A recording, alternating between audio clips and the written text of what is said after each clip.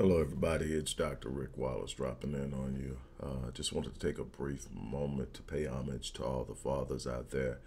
I'll start with the man who so graciously dedicated his life to rearing me, my great grandfather, who, uh, along with my great grandmother, adopted uh, me at nine months old and reared me uh, and challenged me to be the man that I've become and am still becoming.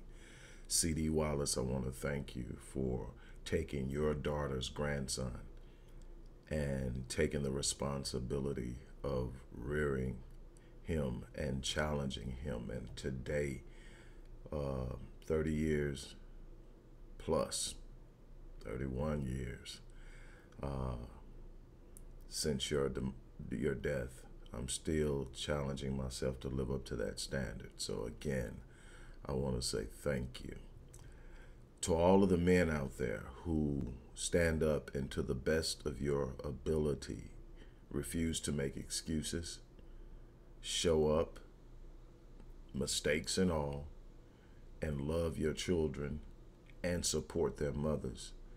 This is big ups to you. Uh, it is easy as black men uh, to become aware of all of the things around us that tend to marginalize our importance and our relevance in our community and even in our homes. Uh, programs that uh, send a message that we're replaceable because we have become solely commodities. And if we can't uh, measure up to the commodification, then we have no place in our families and I'm here to tell you that yes, we are meant to be providers, but we are also protectors. We are also prophets. We're priests.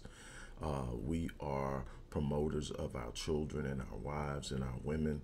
We are lovers and coverings. We are so necessary. And what we're going to have to do is we're going to have to come together and stand together and support one another, love on one another, encourage one another, challenge one another, hold one another accountable because at sometimes we all fall short. It's okay to fall short.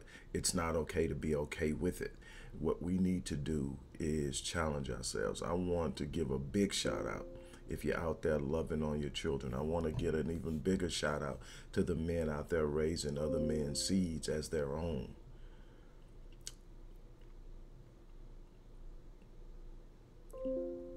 Women, my sisters, I've got mad love for you. Many of you have been asked to do things you weren't designed to do, filling in spaces that brothers decided to abandon and abdicate. But please understand that there are good men out there that want nothing more than to love and to be respected. Uh, they're naturally built to cover. Don't lose sight of that. Show your appreciation. Show your love. Uh, you are appreciated.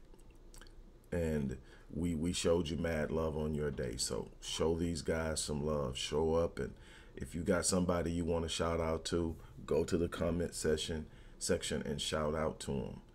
Uh, because I know so many of us who are putting it all on the line. And even in times where things may not seem to be going the way that we would want them to go for ourselves, we still hold down the fort. We still show up every day, banged up, beat up, and sometimes even broken.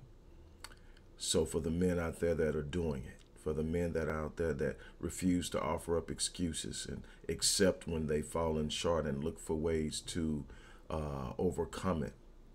I love you, brothers.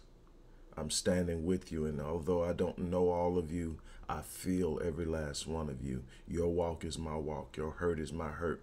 Your pain is my pain. But I tell you what, we're not going to quit on our people. We're not going to turn loose the reins of our responsibility to cover. We're not going to lay down and succumb to the suggestion that we don't fit in and we're no longer needed. We're not going to back up and leave our women and our children languishing because it's gotten hard and tough. We come from stock of resilience. We come from the stock of perseverance. We come from the stock of innovation and creativity. We know how to make it. It's time that we walk in the brilliance of who we are. It's time that we stand up and square our shoulders and say, Not on my watch. It's time that we start to love on one another and support one another and stop competing. So, to every last brother out there, whether you biologically sired a child or you walked into a woman's life and says, I got you from here, mad love and support and love. Happy Father's Day. I'm out.